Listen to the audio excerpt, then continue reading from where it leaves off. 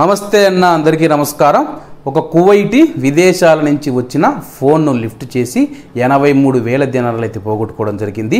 అలాగే వివరాల్లోకి వెళితే నేను ట్రేడింగ్ కంపెనీ నుంచి ఫోన్ చేస్తూ ఉన్నానని చెప్పి ఒక వ్యక్తి అయితే విదేశాల నుంచి ఫోన్ చేయడం జరిగింది. అలాగే మీ వివరాలు బ్యాంక్ అకౌంట్ను అప్డేట్ చేయాలని చెప్పి ఆ యొక్క వ్యక్తి అయితే తెలపడం జరిగింది. అలాగే అతను అంతర్జాతీయ స్టాక్ ఎక్స్చేంజీలో బిజినెస్ చేస్తూ ఉన్నందువలనైతే వివరాలు అందించడం జరిగింది.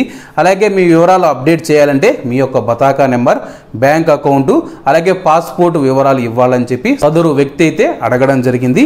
అలాగే వివరాలు అందించి ఫోన్ పెట్టేసిన అరగంట లోపే ఎనభై మూడు వేల దినార్లు బ్యాంకులోంచి కట్టయినట్లయితే సెల్లుకైతే మెసేజ్ రావడం జరిగింది.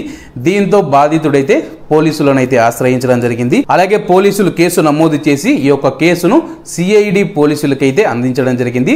అలాగే సిఐడి పోలీసులు విచారణ చేపడుతూ ఉన్నట్లయితే ప్రకటించడం జరిగింది. అలాగే సంబంధిత బ్యాంక్ అయితే ఫోర్జరీ కేసును నమోదు చేసినట్లయితే ప్రకటించడం జరిగింది.